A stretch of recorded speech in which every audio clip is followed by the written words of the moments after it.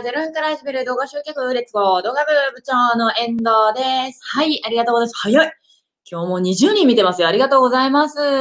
ちょいちょい、あの、シェアをさせていただきつつですね、やっていきたいと思います。ということで皆様、ご挨拶からということでお願いしたいと思います。で今日はですね、あの、ゲスト、浅野かるさんって書いてあるんですけども、えー、ファイナリストコラボライブということになっておりまして、下に書いてありますね。えっ、ー、と、ファイナリストコラボライブ月間ということで、まあ、今回8名の方が、えー、レッツゴースピーチコンテストの登壇が決まりましたので、一人ずつですね、あの、ご紹介していくっていうような番組になっております。はい。で、今日のゲストは浅野薫さんということになっております。あ、皆さんからのコメント来ましたね。ありがとうございます。早っ。はい。えー、こんばんは、加藤くんでございます。YouTube から見ます。あ、ありがとうございます。かわるさん、キャーありがとうございます。あ、なにそのアイコン。息子さんと一緒じゃん。めっちゃいいね。はい。えー、赤木さんこんばんでありがとうございます。あ、今枝さんありがとうございます。はい。あとさなさんこんばんでありがとうございます。はい。えっ、ー、と、あいださんありがとうございます。酒井さんだね。おさらさんこんばんだ。かれさんこんばんだ。あ、たけしくんも来ましたね。西川さんありがとうございます。えー、杉山さんありがとうございます。それから、あ、これユーザーのやつは多分グループから見ているんだけれども、まだポチを押してないのかな？ありがとうございます。あのね、下にひろへいさん、これですね、こちらをしてからコメントをしてくださいということで、こちらのね、ボタンを押すことができるので、これを押してもらうと、あの、ユーザーっていう形で出ないようになって、ご本人のお名前が出るようになりますので、設定お願いします。青金こんばんだ。大橋さんありがとうございます。原レコさんありがとうございます。村さんありがとうございます。始まった。キャー哲夫くん今日ありがとうございました。今日下見行ってきたんですよ。会場下見。あ、そうそう、このね、ユーザーの方は、その一個上のひろへいさんがやってくれたですね、あの、これ、リンクになってますので、ちょっと押して設定をしてもらって、よくわかんない英語が出てくるんですけども、OK ですってやると、OK って出てくるんで、そしたらお名前が表記されるようになります。はい。変わるねーって来てますね。えっ、ー、と、こんばんは。ありがとうございます。リアルですか？リアルだよ。はい。ありがとうございます。あいさかさんも来てくれてありがとうございます。はい。ということで、ウォーミングアップからちょっとスタートしていきたいと思います。えー、まあ、わかると思うんですが、本日のゲストは誰だ？はい。ちょっと名前バーって入れてみてください。今日のゲストは誰ですか？まあ、さっきね、ここに出てましたけど、わかる方はお名前を入れてもらえると嬉しいかなと思います。はい、はい。はい、はい。いかがですか？あ、コメント入ってますね。ありがとうございます。あ、あー、名前出てきた。あ、ビリーさんこんばんは。ありがとうございます。あ、大神さんありがとうございます。こんばんは。えー、バンドさんありがとうございます。えー、ファイナリストコラボライブスタートしましたよ。シェアもあり、あ、ありがとうございます。そう。シェアもね、してもらえるとすごく嬉しいかなと思います。平田さんありがとうございます。あ、カオルさん、そう。まもなくカオルさん出ます。えー、浅野カオル、そう。ありがとうございます。あ、これね、ひろへいさん、あ、哲夫くんも出してくれました。ありがとうございます。そう。カオルさん来ますよ。カオルさん、キャーキャーカルさん、キャーカルさん、ありがとうございます。そうです。皆様ありがとうございます。ご名答でございます。浅野先生ですね。はい。ということで、今日のゲストはですね、こちらでございます。はい。えー、浅野薫さんということで、ゲストをお招きしてやっていきたいと思います。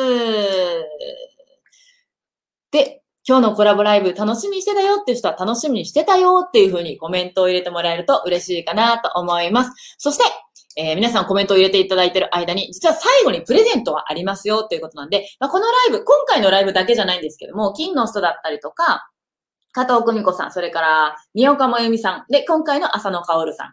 こうですね、コラボライブを見てくださった方にですね、こっそりプレゼントをお渡ししてますので、えー、通常ね、あのー、1000人プロジェクト、まあ、今回のスピーチコンテストにご参加いただくのに、1000円という形でご案内させていただいているんですが、今回は、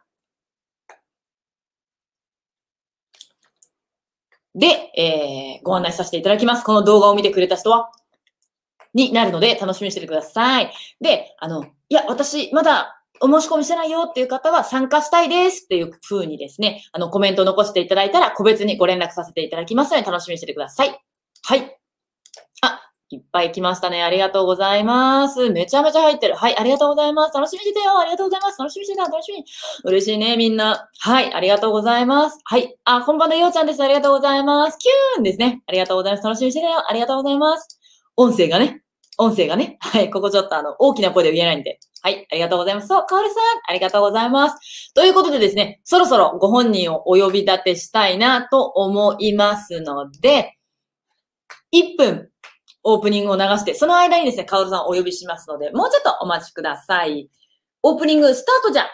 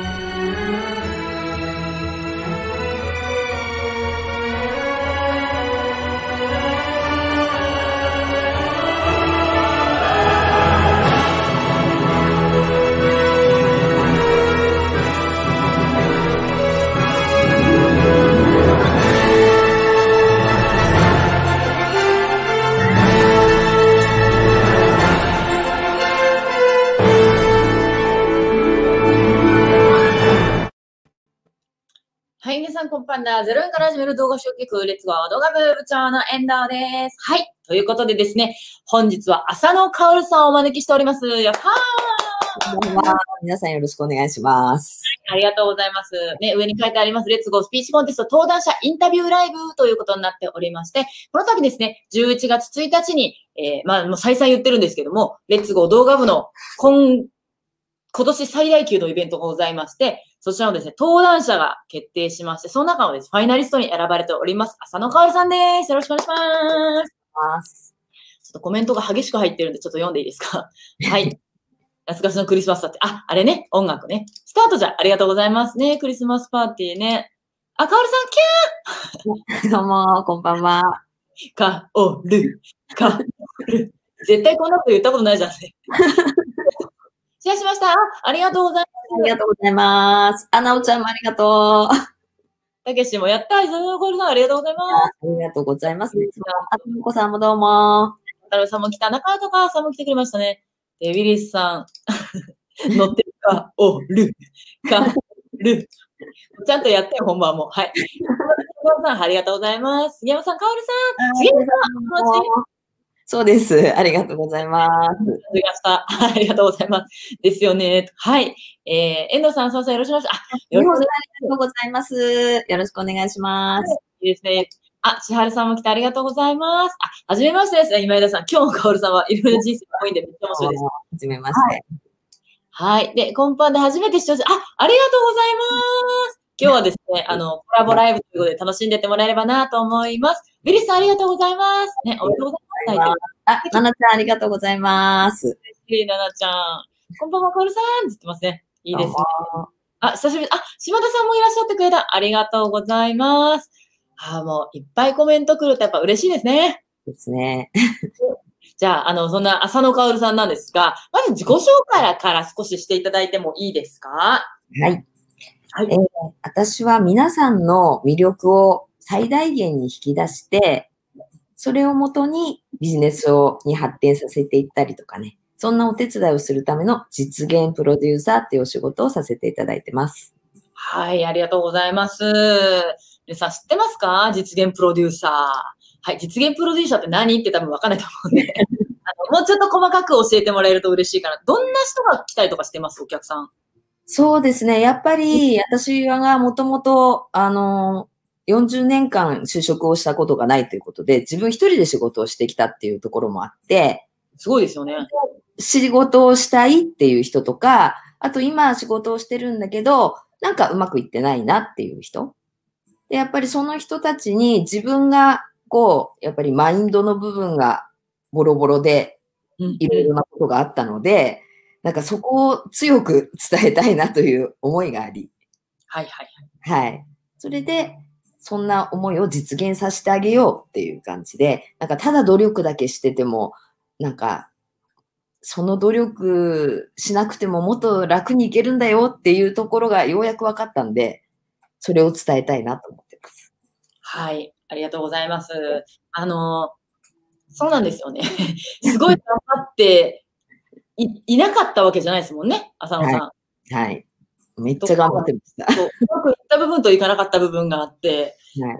せっかくうまくいったものがそっちに吸い取られていくみたいなね。そうですね。浅野さんの人生はですね、あの、なんとなく雰囲気で醸し出すものがあると思うんですけど、いろいろあった人なんですよ、こう。はい。ね。はい。そうそうそう。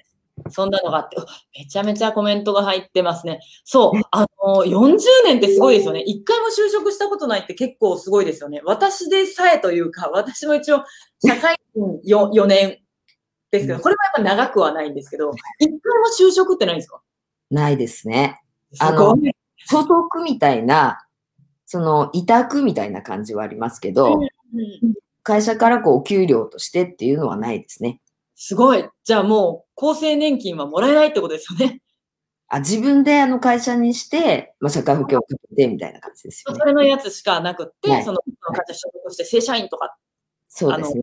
派遣とか、ないですね。そういうのはないってことですね。契約社員みたいうんうん。な。え、何歳からお仕事をし始めたんですか ?18 とか20とか、大学出てたら23ぐらい18だ。です。18から？はい。すげえ。すげえ。すげえ。そうなんです。スタートが自営ってなかなかすごいですよね。うん。あの、人に使われるのが嫌いだったというか、最初から？最初から多分私、こう、使われると文句言っちゃうだろうなっていう、う自分でやりたいっていうのがあったんで、うん。一番最初って何やったんですか？音楽講師です。そっかそっか。ピアノの先生。ピアノとエレクトーンとね。ああ。うん。が一番最初でそ、まあ他にもいろいろあるんですけど、まあピアノ先生をやってから次何やったんですか？次は化粧品のセールス。化粧品のやつやって、で、次何やったんですか？エステ？次、あの、パチンコ生活が3年くらい。あ、すげえな、それでくれる。間に入って、はいでも黒字みたいなうん。自営ですよね。で、で、次がエステって感じですか？エステ経営ですね。はい、すごい。40年ってすごいんですよ。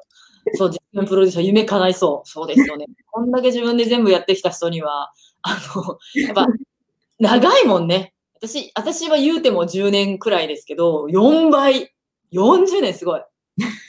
プロデューサーかっこいいですよね。フリーランスですか？そう、そういうこと、あ、でも株式とかもあるのかな今、どっちだ、どっちでやってるんだろうどっちもうんと、合同会社あ、はいはいはいはいはいはいはい。あの、自分で会社を持ってるとか、自営でやってない方もいると思うんですけど、いろいろですね、会社を建てるっていうのパターンがあるんですよね。あの、フリーランスとか個人事業主って言われるのものと、と株式会社ってよく聞くやつですね。私も株式会社シンデレラストーリーっていうのを持ってるんですけども、で、合同会社っていう出し方もあって、あの、ちょっとこれのさ、私そんなにあんまり分かってないんですけど、株式は株が一応も持てるようだし、合同会社って、一人でもできるんですよ。立ち上げれるって。あ、そうなんですね。そっかそっか。しかもだって、一番、あ、いつぐらいに合同会社にしたんですか？最初から？ではないですよ。合同会社にしたのは、エステを経営してからでうん。で、それまではフリーランスって一人、個人でやっててってことですよね。うんそういろんなやつがある。あと、まあ、一般財団とかね、いろいろある。学校法なんとかとかありますけど、よくわかんない。うんそこで。種類がある中の合同会社ってやつなんですね。はいはいはい。そう、事前プロジェクトかっちょいいよね。そうはい就職ないんですよ。なかなか、レアですよね。レアキャラですよね。なのかな？なかなかいないですよ。18歳から自営始めましたみたいな。なんか大学に入っている途中の企業の人とかもやっぱり多くないじゃないですか。しかも40年前でしょ。うん。で、多分、あの、女性がそんなに働くっていう、うん。何？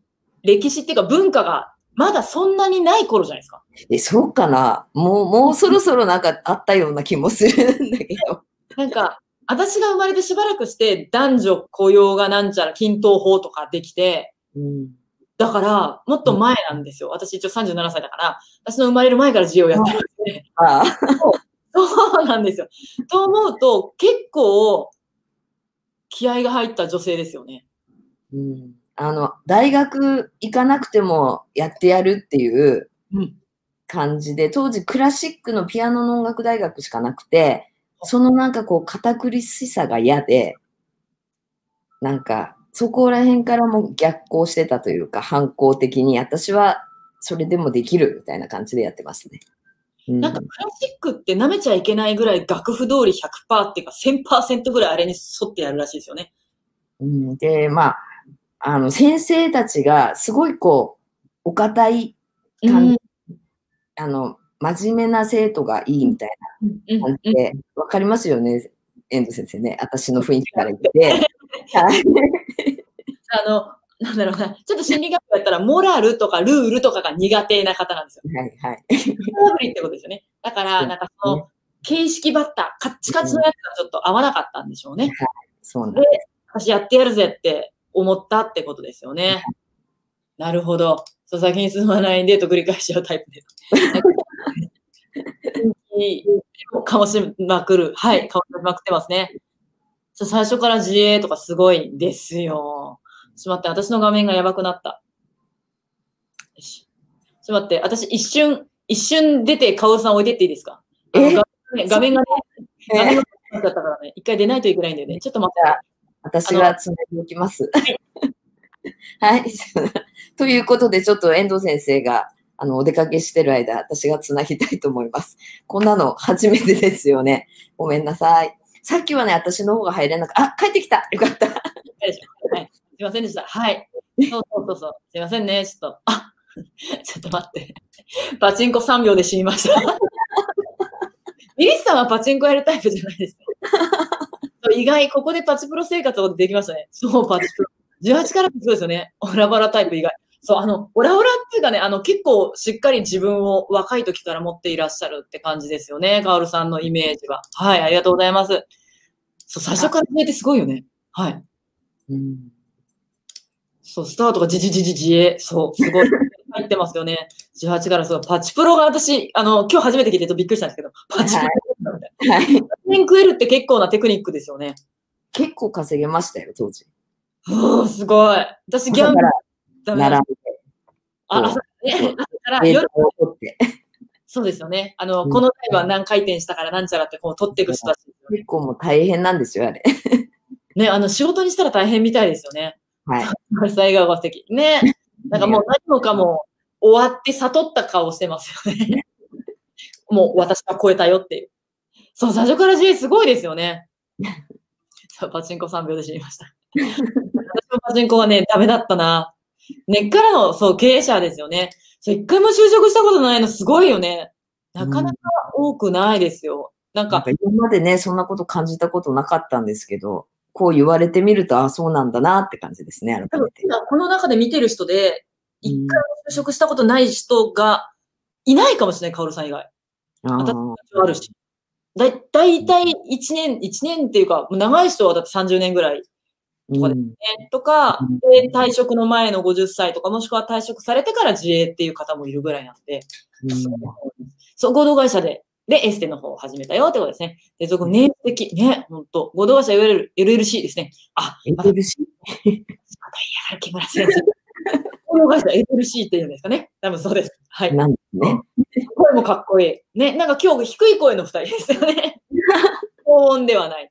えー、合同会社いろいろあるんですよ。あ、そうなんですよ。いろいろあるんです。まあ、どれがダメとかいいとかじゃなくて、あの、な出すとき、届けを出すときに選べるんですよね。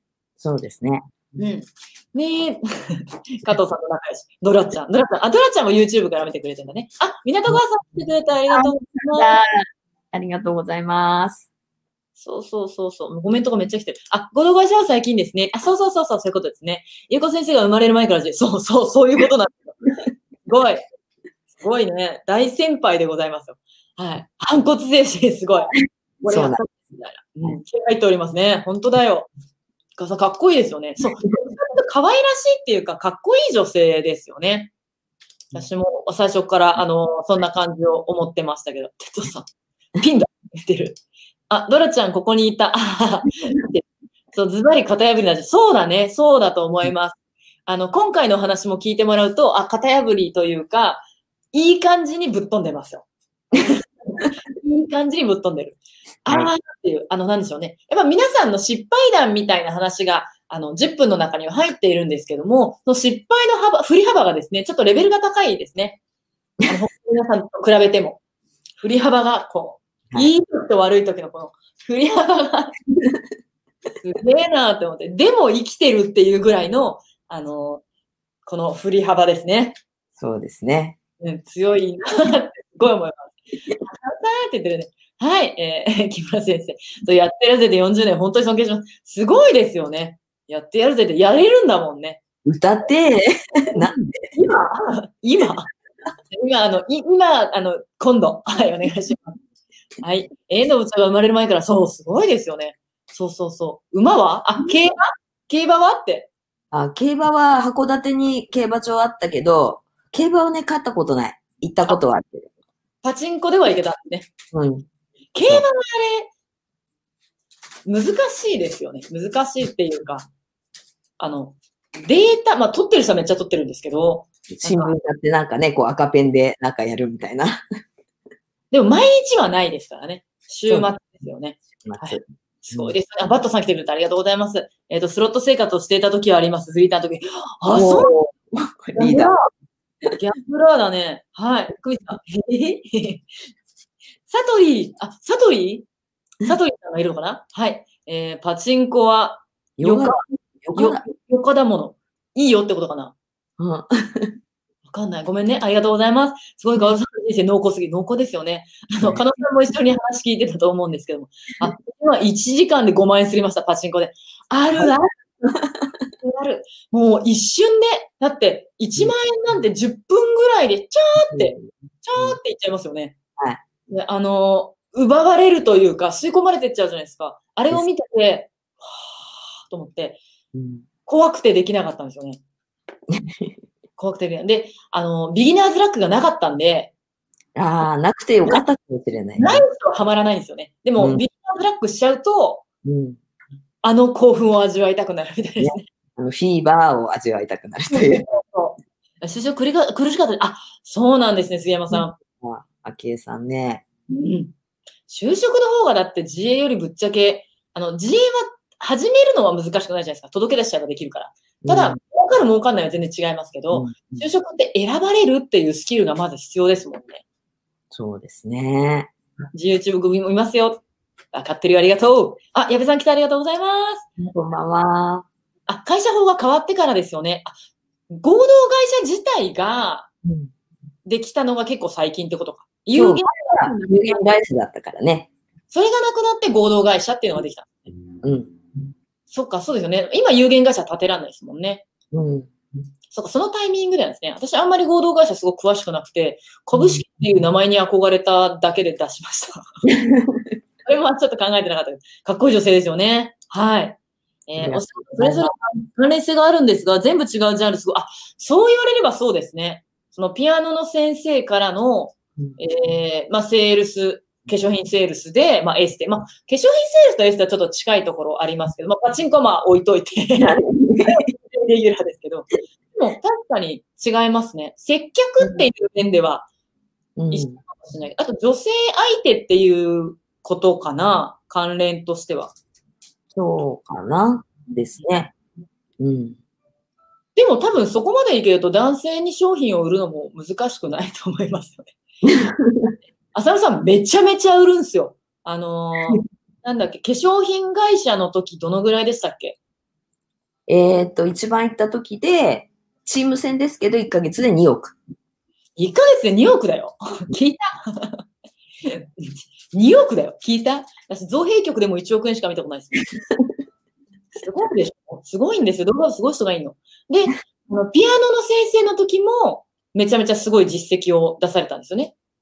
ああ、そうですね。あの、国大会に生徒が入賞してくれて、で、その子が、あの、バークリーって結構海外では有名な大学に行ってくれて、そして、今は、つい最近分かったんですけど、消息が、なんと、イーガーラッシュっていう、なんかみんなが知ってるような CM の音楽作ってる作曲家になってた。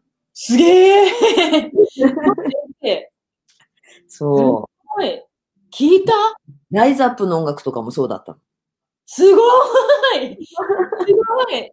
そすごいめっちゃすごいじゃないですか。う。そう、びっくりしたんですよ。それがついこの間分かって。いやー、めちゃめちゃすごい人見つけたよ、また。ありがとうございます。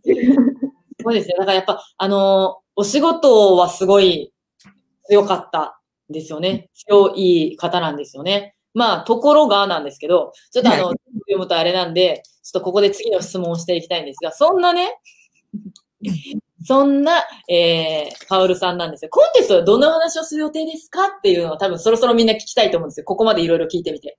はい。えー今回はやっぱり私ならではの話を皆さんにお伝えしたいので、私のジェットコースターストーリーをもう10分にもうギュッとするってすっごい大変だったんだけど、もう超駆け足で私のジェットコースターストーリーから学べることってすごいあると思うんで、そんなお話をしていきたいと思います。みんな勇気が出ると思うんですよね。そうですね。あの、今の話を聞いていると、まあ、きらびやかな実績じゃないですか。まあ、パチンコも一応ね、儲かってたからきらびやかな中入れてくるんで、そう、この、なんだろう、まあ、すごい音楽大学、大学とか、その、CM の作曲家を育てたとか、うん2億円ね、まあ、チーム戦闘で2億円を売り上げたってだけ聞くと、やっべえ、もうな、こういう人だよ、売れる人、みたいな思うじゃん、みんな。思うじゃん？もうこの人の振り幅、あ、ダメじゃんっていう目が、もう ダメじゃんっていうのが聞ける。で、どのぐらいダメだったかを楽しみにしてほしい。そうですね。そうそう。あの、キーワードでちょっと言っておきますかね。そのあキーワーと、今日ね、キーワードを皆さんにお伝えしましょうか。あの、男性とお金。この二つキーワードです、私の。そうですね。大きなキーワードですね。はい。はいこれにまつわる、あの、ね、失敗というか、はい。ジェットコースターのこの下った時ですよね。のお話、ね、すごくあの具体的にご本人の口から聞け。で、それからどのようにして、えーまあ今っていうか良くなっていったのかみたいなお話をですね、皆さんに聞いてもらえたらなと思うので、めっちゃ面白いですよ。もう振り幅が面白すぎて、なんだそれみたいな。何？昼ドラみたいな感じですよね。昼ドラみたいな人生ですよね。嘘でしょみたいな作っ作ったでしょみたいな話ばっかりですよね。はい。実、実話です。実話が、あの、はいノンフィクションでお届けしますので、はいあの、泣いていただければなと思います。はい。そうそう。だちょっとあの、面白いですよね。すごくガチガチの、これやったらいいんだよ、これやったら実現プロデューサーだよっていうような、あの、なんだろうな、ノウハウチックなものっていうよりも、かおるさんの人生に乗せて、みんなにもぜひ勇気を持ってもらえるようなお話かなってイメージがありますね。そうなんか、こうね、あ、なんか私もそれか、それ系かもとか、うん。あるかもっていうのが絶対いると思うんですよね、そういう方が。逆に私の方がマシだわっていう人の方が多いと思うんですけど、あの選定的、あ、そう、そこまでですかっていう、結構高レベルなお話を聞けると思います。はい。すごすぎだよね。1ヶ月で2億円セールスって化粧品の単価考えてもそう。そう。だって化粧品ね、1本なんか100万円とかないんでうん、チームとはいえ、すごいですよね。えーどうしてそう、どどうして、どういう経緯で今の香りさんに確立できたんですか富士山みたいな。これをお話しするんで、楽しみにしてください。これ喋っちゃうとですね、あの、本番誰も見なくなっちゃうんで、あの、これ、これ以上はごめんなさいね。なんですけど、楽しみにしててください。あ、バークリー大学名門、あ、そうなんだっていうか、うんたけしはこれを知ってるのかな？鍵さんはね、あの、音楽をしてた人なんで結構知ってるかもしれないですね。半端ないです。そう。そう、大手でも合同会社も多いですね、ソフトバンク。あ、ソフトバンクも合同会社なのもしかして。えー、そうなんだ。ゼロこうやってやるとすごい数ですね。おー、ね、よく。はい。1ヶ月で2億すごいよね。はい、えーすごすぎる。そうなんですよ。カレンさん知らなかったでしょ？びっくり。カオルさんは見事なしぶとさ、まあまあ、そう、本当そのままですね。見事なしぶとさで、本当あの、バイタリティすごい。あの、今の幸せゲットされてます。仕事ではいつも成功されてるんですね。そう、すごいですよね。生徒さん、ライズアップの音楽作ってるマジすごいですよね。みんな知ってるもんね。ねそうです。そう、教え子の実績もすごすぎる。めっちゃすごいですよ。だからね、あの、動画部のメンバーは、いわゆるすごい講師ですっていうことではないにしても、めっちゃすごい実績を持ってる方いっぱいいるのよ。はい。まあすごい楽しみです。あ、カルシャン、シェアカンです。ありがとうございえ。ます。ありがとうございます。金の人ありがとうございます。って言って聞きたいですよ。あぜひ聞いてください。のジェットコースターも結構藤山並みのジェットコースターですからね。山とかもなんか、もう本当すごいやつ。え引きつー、け力引き付け力、あ、引き付け力。ございます。持ってるでしょ？はい。あの、面白い方をご用意させていただいてます。うん。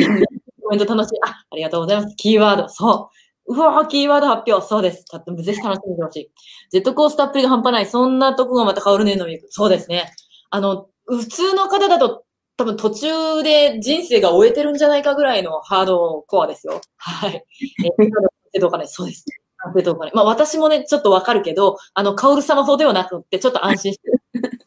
あ、私はいいや、と。あそう、ヒルドラちゃん、ヒルドラちゃんね。ありがとうございます。えー確かにヒルドラ何本もですよ。できそうですよね。誰か、あと、青木が、青木直人さん、あの、同じご登壇のね、青木直人さんいるんですけど、川尾さんの話は120分スペシャルで聞きたいですって言ってたね。言ってましたね、青木。そう。ドラマ仕立てだからね。読むすごい分、陰も半端ないから勇気もらえそう。そうですね。なんか、企画で青木と作れば、なんか、朝の香る物語みたいな。ジェットコースターっぷりが激しいですね。そう映画になりそう。うん。あの、映画にしたらう売れると思う。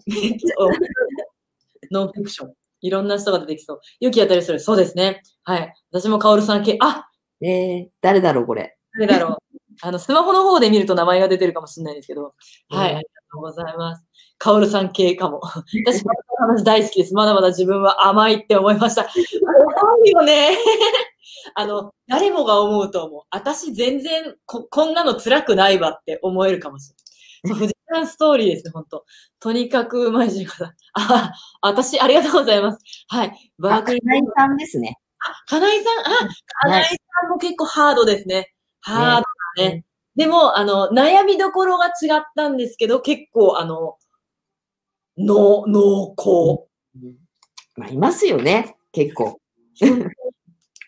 そう、バークリーマジすごい。あ、そう、あ、め、超名門って言ってる、鍵さん、さすが。そうなんだ。ジェットコースターの話気になる。気になるでしょ？気になってきたでしょ？見てね、ちゃんと。はい、リアルで。はい。ありがとうございます。ありがとうございます。ひろへいさん、ありがとう。えっ、と、女性は男を育てるし、男で変わるからね。まあ、まさにそんな感じ。まさに、これいいヒントですね。120分スペシャル見たいですね。120分ぐらい19,800円ぐらい取って、あの、映画化してもいいですかあと、うん、映画にもすごいと思う。うん。ノンフィクション映画ですね。ほんと。あの、ここだけ聞いても面白いじゃん。もう予告編も、もう、超楽しみですよ、今日私の中でも。いやー、みたいな、これは。で、ちなみにこれどんな人に聞いてもらったらいいかなっていうのってありますか？今ちょいちょい言っちゃったんですけど。あの、やっぱり、今すっごい超、ああ、もう立ち直れないって思ってるような人がもしいたとしたら、だし、あとは、あの、ちょいちょい、なんかちょっと壁にガン、ガンってぶつかるなっていうような人だったり、っていう感じかな。あともう私は、もうこれ以上は無理だなって思っちゃってるような人に、あ、私もまだ頑張れるわって絶対思ってもらえると思うんで。そうですね。なんか目の前の壁に今ちょっとつまずくというか、ああ、ちょっとこれ超えられねえかなみたいな風に思っちゃった方とか、つどつどうん、感が当たってる人ね、にはとてもおすすめということになっております。で、うん。そんな、その、浅野さんなんですけども、何故、今回ね、あの、動画部のこのスピーチコンテストにエントリーしようと思ったのかなっていうのも聞きたいなと思うんですけども、お話しいただいてもいいですか？えー、一つは自分へのチャレンジっていうのがあったんです。で、なぜかというと、私、この業界の実現プロデューサーとして仕事をしたのって、まだ2年足らずなんですけども、今までの仕事の中で、一番、こう、スッとこう、いけてないっていうところはありうん、なんか自分の中で、ちょっぴりこう、自信がなかったりとか、なんかそんな自分もいたりして、でも動画部に去年からずっと7チャレ、5チャレ、14チャレ、はい。全部参加してきて、すっごいいい仲間の人たちができたときに、あ、このメンバーの人たちのところでこんなチャレンジあるんだったら、自分試してみようって思った。それして、なんだろうな、その時に私実験したんですよね。あの、エントリーをする時点で、11月1日に自分が舞台でみんなの前で話をしてるっていうところをポーンって投げといたんですよ。うん。で、だからって言ってそこに執着するわけではなく、淡々と、まあ、練習を積み重ねてきた結果が、今回のこれだったんですよね。うん。うん、だから私にとっては、ちょっとこう、一つステップアップが、自分の気持ちのステップアップができたなって感じ。うん。なさるさんは、まあ、こんなに美味しいネタというか、あの、講演家になれるんじゃないかぐらいの人生のネタを持ってるんですけどもうん、人前で、その、なんだろう、登壇して喋るみたいな機会って今まであったんですか？そうですね。あのー講師の時はうん、グループのリーダーを十何年とかやってたんで、そういう前で話をしたりとか、あと化粧品のセールスの時とかも、あのー話をしたりとかっていうことはあったはあったんですけど、でもマニュアルをね、こう話すっていうことが多かったので、はい。自分のことを話すっていうん。ですよはい。うんその事業内容とか、うんあの、今回の発表みたいなことでっていうのはあるけれども、まあご自身の人生をお話しするっていうのは、はい。初？初。おー、これは面白い。そう聞き応えしかないです。世の中いろんな人がいっぱいいるなっていうのをですね、感じてもらえるんじゃないかなと思います。そう。はいね、編集なしで全部お聞きしたいです。大きい。ノー編集で。青木にずっと撮影して、それでなんかさ、物語作ってあげたら、青木にだけはもう全部聞けるんじゃない？いや、あの、青木にだってできるじゃん、みたいな。すごい、あの、いいと思います。ここで、あの、二人で1億円ぐらい稼いでください。はい。福島さん。あ、バットさんかな？はい。あ、あー、あ、バットさんも YouTube の方から来てくれたんだね。ありがとうございます。えースピーチをお聞きしているさなんか5回ぐらい、え？ってなりました。人、進行のとことかなかったからね。そうだね。中でも、えって思うのがあって、私はちょっとびっくりしたな。そうだったの？みたいな。で、今日またあのライズアップの音楽作ってますとかって、えっていうのも。ちょいちょい新しいネタをぶっ込んできてくれます。あ、北海道帯広の話はありますか？これで、あのー、哲夫くんが言ってくれてるんですけど、北海道に、あのーいらっしゃるんですよ、浅野さん。で、帯広に住んでるよっていうことだったんですけど、なんでこんな情報詳しいの？この人。さっきの打ち合わせ聞いてたのぐらい、あれ、どんなんだ、哲夫、怖えな。帯広の話ですか？うん私、帯広はね、14年くらいなんですよ、帯広に住んでまだね。そうなんですね。その前は、函館が長いんです。札幌生まれなんだけど、函館が超長くて、38年か、そのぐらいもう、でなんだよね。普段があった時はほとんど函館。そう。あ、でも最後のやつは帯広。ああ、最後の、最後の一番、あの、ハードだったやつが、はい。そう。あ、なるほど。ありがとう。こう最後のハードだったやつも楽しみにしてください。はい。なるほど。そうなんですね。でも北海道をずっといらっしゃるんですね。そうです。出たことないですね。そうなんだ。うん。逆にそうですね。その、だって、えー東京とかで2億とか出たわけじゃないってことですよね。そうです。おお。すごい。ね。でその時ってまだ、あの、こんなに、ズームとかないじゃないですか。ないない。ちょいちょい、え、東京に行ったりとか。あ、でもそういうのはしてましたよ。東京とか大阪とか。あ、うん。そういうのは行ってた。あ出出張っていうかお仕事でってことですよね。そうそうそ超できる女ですね。ありがとうございます。えー近日企画外ハイブリッド女子特番。で なんかみんなのすごい、ただただ、なんか学ぶっていうか、すごかったよっていう話をしても面白いですね。かおりさん、今だって言ってる。誰だろう、誰だろう、今だって言ってる。面白い。そう、初のスピーチ。だ結構これは面白いと思いますよ。ね、人生初。あ、あの、ふみかちゃんって読むのかな？は あ、あやかちゃん、どっちだろう？ありがとうございます。人生初。そう、面白くないですかこれ。超楽しみにしてください。えっと、映画の中の世界みたいな話、脚を読んでいるなら面白いと思うけど、リアルに自分が食らったら、な話ですよね。そう、うんあの、あの、終わった話を聞いてるみんなは面白いけども、多分、この一夜の時は、超大変でしたよね。う。そうですね。まあ、それでもね、途中までは案外まだまだね。あそう、なんか、あの、なんていうかな、よくわかんないポジティブさがありましたよね。そうそう。え？みたいな。よく、へこんだかもしれないけど、なんか強かったですよね。そうなんです。うん。浅野さんの性格も、あの、垣間見えるお話になってます。あ、ヤッホー、こんばんだ。はい、ありがとうございます。山田もね、ぜひ、あの、浅野さんの話を聞くと、あの、元気が出ると思う。もう元気100倍、山田くんのアンパンマンの顔が新しい顔に変わるぐらい元気になると思うよ。はい。えー何があっても不思議じゃないよね。うん本当こんなことってあるんだっていうお話がいっぱいですね。函館、ね。そうそうそうそう。あ、帯広イコール豚丼くらいしか知らない。帯広って豚丼なんですか？一応は豚丼。でもね、豚丼のタレ買って自分で焼いてかけて食べたらどこでも食べれるよって感 そう、意外と、あの、ご当地の方はそうでもないっていうこと多いですよね。じ。はい。さっきもしらすって別にそうでもないよとか言うし。うん函館はね、やっぱり一度行って、なんか食べた方がいいと思函館って何ですか？私、塩ラーメンしかわかんないんだけど。う。え、あの、イカ刺しとか、海鮮丼とか、会社の、うん。うん。北海道はもうなんか回転寿司でもすでに寿司が、あ、よって出す寿司ぐらい美味しいっていうのしか分かってなくて、ああ、そっか。北海道だって何食っても美味しいよっていうので、うん。ラーメンで言うと旭川が醤油、函館が塩、札幌が味噌っていう私のセグ セグメントっていうか区分け。ああ、なんかそんなのあるみたいですよね。うん。うん。でも塩はあんまり私食べないんだけどね。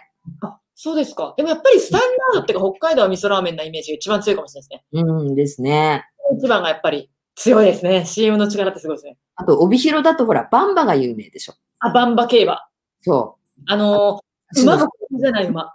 知らないみんな。これね、あの、私が一番見に行きたいやつなんですけど、馬が熊みたいなんですよね。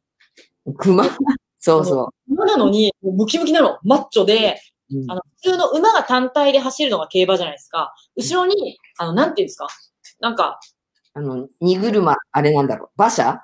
馬車みたいな感じで、人もそで、ピシピシやって、あの、ん一番競うので、もう、うんマッチョ馬大会ですね。簡単に言うと。マッチョ馬運動会みたいな感じで、すごいんですよ。それは日本で帯広しかないのかう。な？そう。帯広しかないんですよ。私もともと馬が好きだから、そんなって言って、あの、私も知り合いの方が北海道にいて、バンバ競馬見た方がいいって言われて、なんすかそれって言ったら、馬が半端ねえっていうか、調べたら本当にムッキムキで、そうなんですよそうそうそうね。あの、正確に言うと、万栄競馬。そうです、そうです。万栄系。競馬とか万栄競馬って言うんです。ググってもらうと、あの、今までの馬の概念が、えってなるぐらい、すごい。ムキムキですね。そうそうそう、すごい。私それ超見見たいから、それ見たくて、北海道本当行きたいんですよ、また。なあ。ぜひぜひ。超行きたい。そう、最後のやつ帯広って気になるんですけど、最後のやつとか気になるでしょ。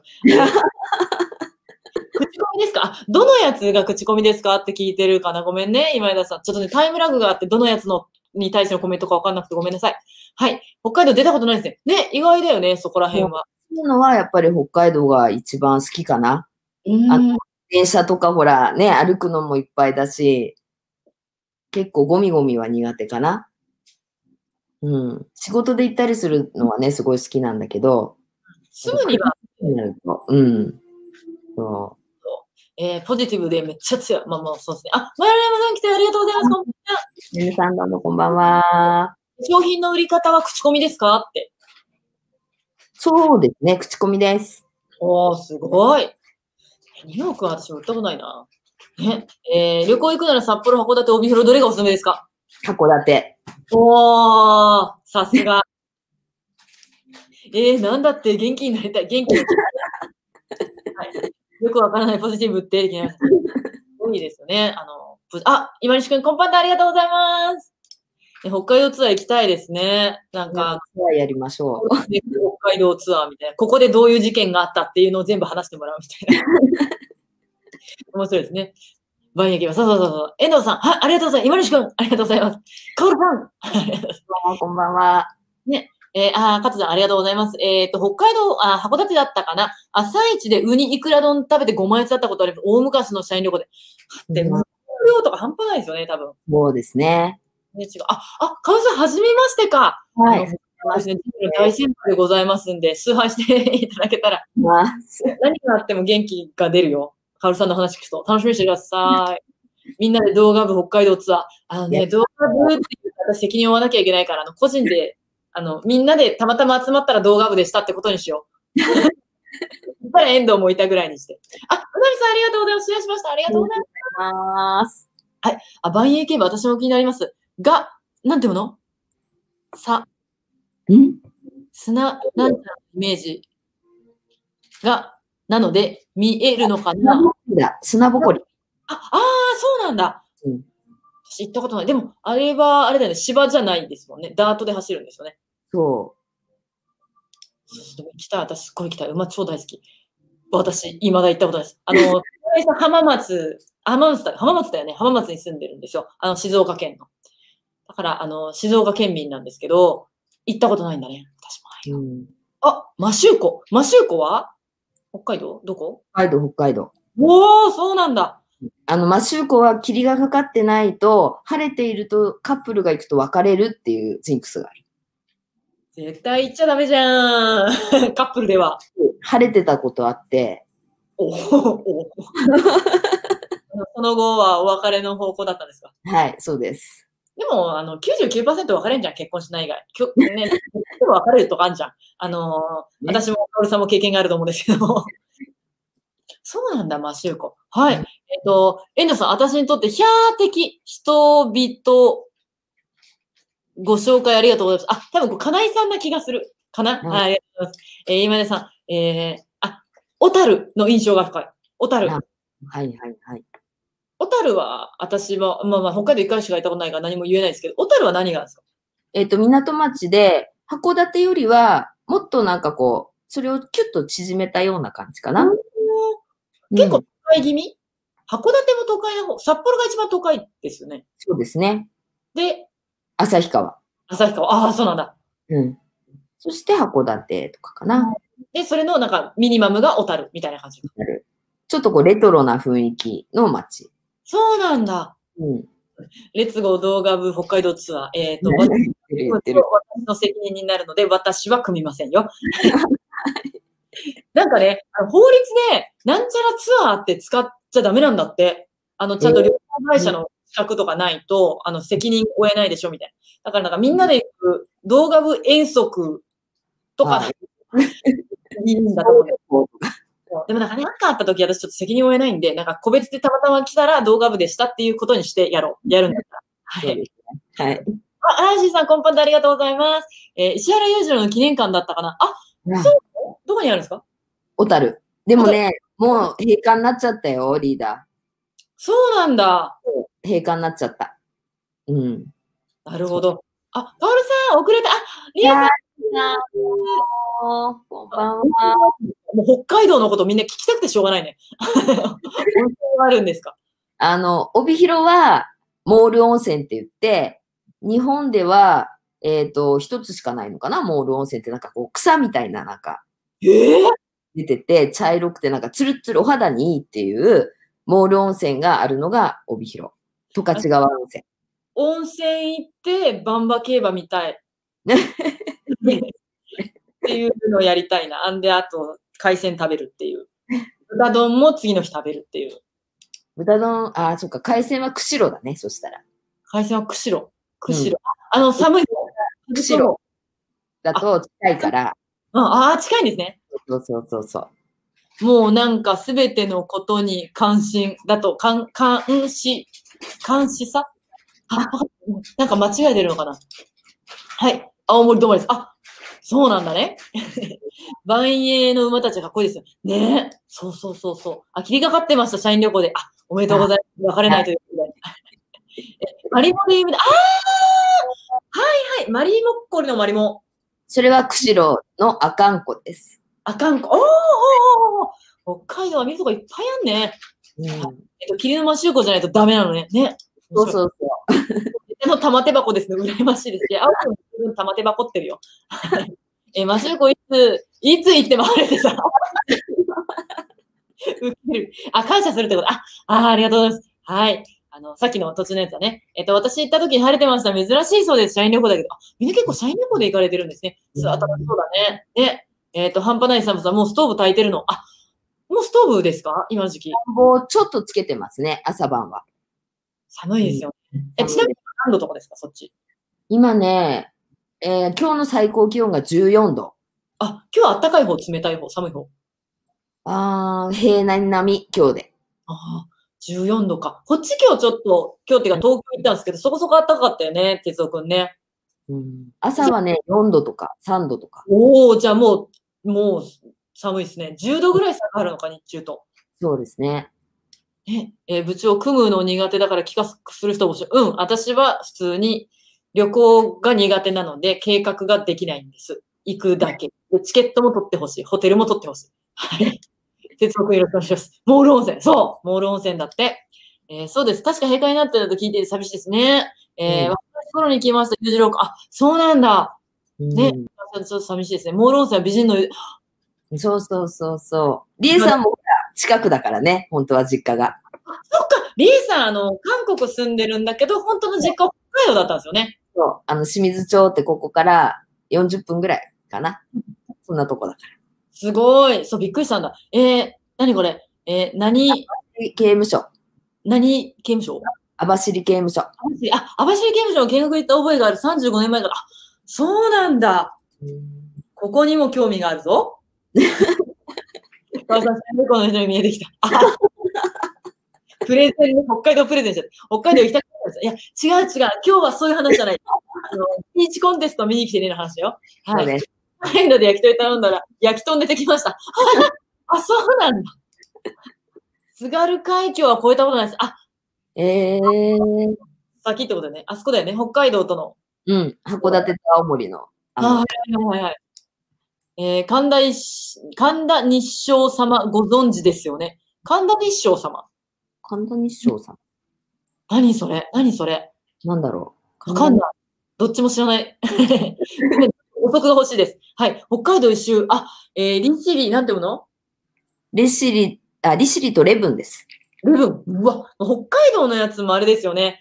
当て字っていうか読めない字いっぱいありますね。ないですね、いかがですか？ぐるっと回るのにさっき一周、1週間ぐらいあった方がいいよって話をしてたんですよね。うん、そうです。はい。は天いい天気でしたね。ねそうそうそうそうそうそう。冷蔵庫並みですね。ほんまや、ほんまや、はい。えー、動画部の裏の支配人は北海道さんですけれども、えー、ストーブガンガンと言ってます。そうそうそうそう。あの、動画部の裏の支配人がいるんです。動画部のあのいろんな中身をですね、作ってくださってる裏の支配人の、あの、石原というものがおります。この人も、あの、北海道なんですね。実は。えー、だから全然会わないけど、年に1回会うか会わないかぐらいですけど、たまにこそっといて、黙ってるから動画部のお偉いさんってことを誰も知らないんですけど。はい。クリスマスパーティーも呼びます。はい。明日とされる、そう、朝さんと寒いですよね。カルさん、あ、宮岡さん来たよ。あ仕事終わったんですね。ありがとう。ね。はい、うんあ、ありがとうございます。北海道スノーボードの検定を受けるために、あスキー場に一人で5日間滞在して帰るということを3年くらいしていたのですが、ねすごい。すごく長くてびっくりしました。えー特急で3駅ぐらいしか止まらないのに 移動時間1時間でした。一駅が遠い。そうですね。遠いですよね。すごいなぁ。すごいな、すごいですよね。3つだ。1個30分、1個30分。軽い新幹線ですね。ですね。もう、だって、そうだよ、本当に。えっと、小田原、品川とかと20分、横浜だと20分で品川まで30分とかだから、新幹線うん。すごいレベルだ。はい、ありがとうございます。えー、ドガムの吉原さん、誰だろう。でもね、クリスマスパーティー来てましたよ。こっそり。うーん。で、偉そうなこと全く言わないんで、誰も気づかない。何出たいタイプじゃないから。はい、そこまで動物園ね、私行った、そこ行った。うん。はい。えー北海道の焼き鳥って豚って聞いたことあら、そうなんだ。はいあ。石原さとみかと思った。誰が？あ、石原さんね。さとみだったらびっくりですよね。はい。オール温泉美人の湯気になる。ね、気になるね。北海道10回ぐらい行ったことありますよまだ行きたくなります。そう、あ影さんも大好きなんですよ。すごい。10回も来てるんだ。海外とかもピュンピュン行くので、この人、ふへ英語ペラペラだし。えー、また北海道来てください。マイポン。いいね、みんなで。なんかすごい頑張った人何人かだけとかに行くって感じじゃない。はい。えー、コンバタカルだけありがとうございます。えー今日は北海道の話で盛り上がってるのかもしれない。で、あの北海道に行こうって話じゃないからね。はい。若栗市から旭川、松山千春の実家が観光コースに入ってます。ええなぜか屋根に肖像画があり、でも違和感感じなかった。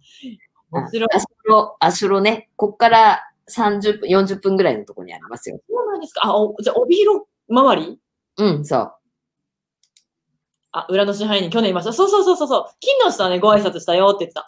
ねあね、北海道ちょっと行きたくなってきちゃったね。やばいね。えー 北海道から、えー新千歳が遠かったね。あ、あのー空港ってことかな？うん、空港から札幌までって、あの、なんだろう、車でだったらでも1時間かかんないかな。あ、あ、そう。でも、まあまあまあまあまあ、ちょっと遠めですかね。こっちの感覚。うん。そう、北海道の人って、移動距離が普段長いので、こっちの近いって10分、20分ぐらいなんですけど、あ、でもまあ近いから1時間ぐらいだよねって言いますもんね。そうなんです。思って。さあ、ありがとうございます。もう、もうこんな楽しすぎてやばい。全然。はい。ありがとうございます。えー、そんな、ね、あのーもういろいろ聞きたいことも聞けて、北海道の話も盛りだくさんだったんですが、今回、えー、まあ、視聴してくれる皆様がいらっしゃると思うんですけども、えー、まあ、浅野さんからはい。皆様に一言というか、はい。どど、どう、そうですね、一言教えてください。はい。はい。えー今日は皆さんありがとうございました。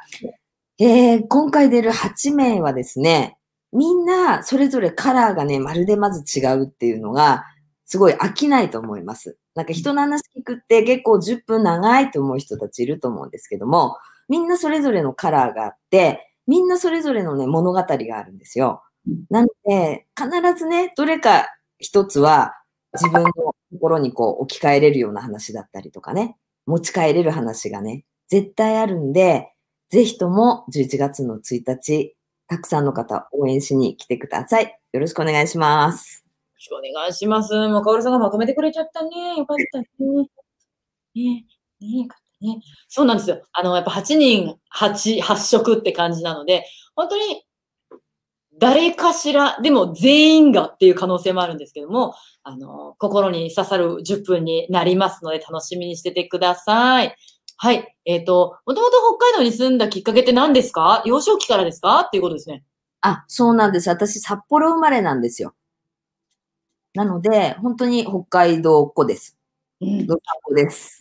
お散歩。うん。はいえ北海道の遠足の際は移動時間に注意してくださいね。あありがとうございます。あと、施設の閉館時間とか冬と夏で違ったりする。あ、わかりました。ありがとうございます。えっ、と、神田日照国道鉄、あ、国道、同立美術館やってますね。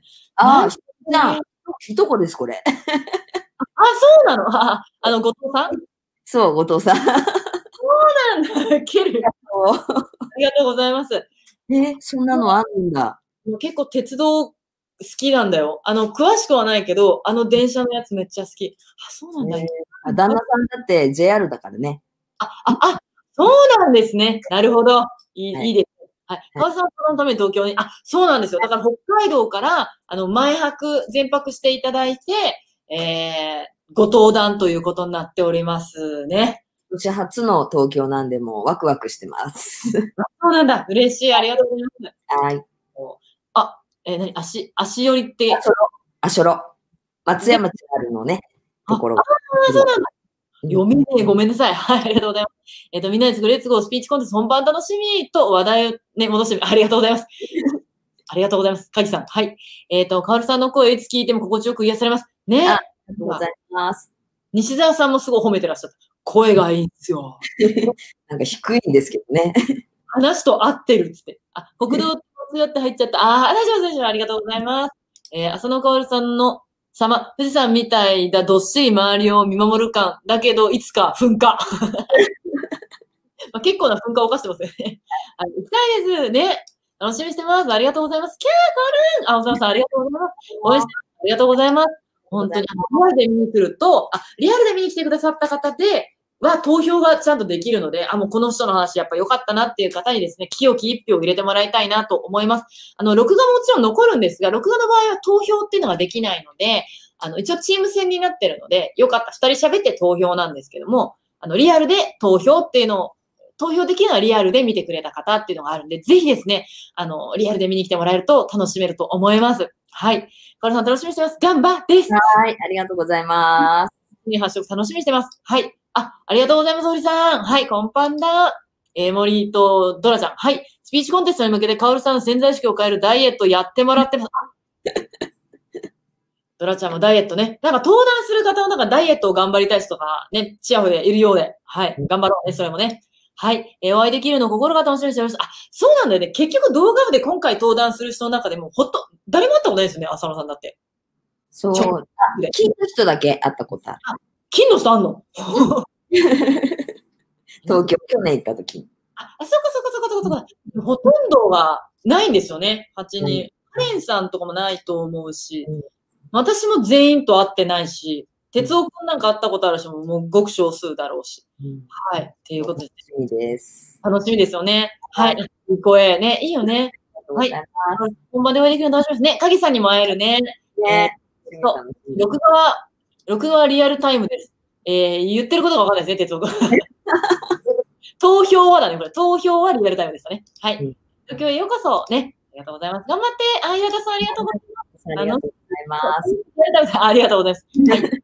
はい。えっと、本番楽しみにしてます。ジェットコースターストーリー、ぜひ聞きたいです。応援してます。ということですね。ありがとうございます。やっと会えますね、みんなとね。投票したらイベントを見るの初めての楽しみです。どんな感じになるだろうね。あの、今日その打ち合わせとかを込みで、あの、西田さんと哲夫くんと、えー、まあ、荒谷さんっていう動画の方と一緒にですね、下見してまいりましたんで、あのこと、そのことも後で投稿しておくんで見といてください。はい。私、誰とも会ったことないです。あ、そうだよね。あ、富山県のカレンさんですね。あの、もう一方全泊でいらっしゃる人です。はい。そう、本番すごい楽しみですね。ドラちゃんもね、リアルでね、楽しみでございます。はい。ということで、今日はこんなところでおしまいになるんですが、あの、プレゼントを言うのを忘れて終わっちゃいそうだったんで、言わせてください。はい。まあ、一番最初にもお伝えしたんですが、プレゼントがあるよっていうことで、まあ、この動画を見てくださった皆さんになんですけれども、えー今回はですね、この動画を見てくださった方だけなんですが、いや、私、せっかくこんな楽しそうな話聞きたいんだけど、まだ申し込んでないっていう方はですね、この動画を見てくださった方、私も参加したいっていうことで、合言葉は参加したいです。参加したいっていうのをコメント欄に書いてください。そしたら、通常の、で、えっ、とですね、ご案内させていただきます。そちらのリンクが、あの、ございますので、エンドの方から直々に送らせていただきますので、そちらで決済していただくと、で、えーご案内できますので、えーそちらの価格でご案内させていただきたいと思っております。はい。ということでした。はい。えーあの、今日はね、あの、浅野香織さんの楽しいお話だったんですけど、またまた次回も続いていきます。で、次回はどの方が登壇するのかなっていうと、浅野さんの次が、14日、10月14日、明日、明後日ですね、は、こちらの人でございます。はい。10月14日21時からですね、ドラちゃんということで、今回もですね、いろいろコメントを入れてくださってます。本名、森戸陽子さんですね。えー、かわいいドラミちゃんに扮しております。あの、普段着がこれです。はい。清掃がこれです。なので、これで多分登場してくれるんじゃないかなと思います。ドラちゃんの登壇になっておりますので、えー、あさって14日の21日、21時からも楽しみにしててください。はい。コメントがめっちゃ入ったんで、行きたいと思います。はい。ありがとうございました。ありがとうございます。えー、深い話な気がする。そう超面白いよはい。プレゼントはね、ありがとうございます。プレゼント、キャープレゼント参加したい、参加したい。ね、あの加藤さんは参加してもらわないと困ります。登壇者なんで。はい、よろしくお願いします。通常の〇〇はい。参加したい。あ、ありがとうございます。で、ごさせていただきます。はい。はい。ますます。ますますだけど終わっちゃって。ドラちゃん、そう、ドラちゃんですね、次は。ドラちゃん、そう、もちろん清掃で。はい、ありがとうございます。あさって14日はドラちゃんになってますので、皆様、あの、21時のお時間にお集まりくださいませ。はい、ということで、今日のゲストは、浅野香織さんでした。はい。ありがとうございましはい。では、また次の動画でお会いしましょう !See you! た。さよなら。はい。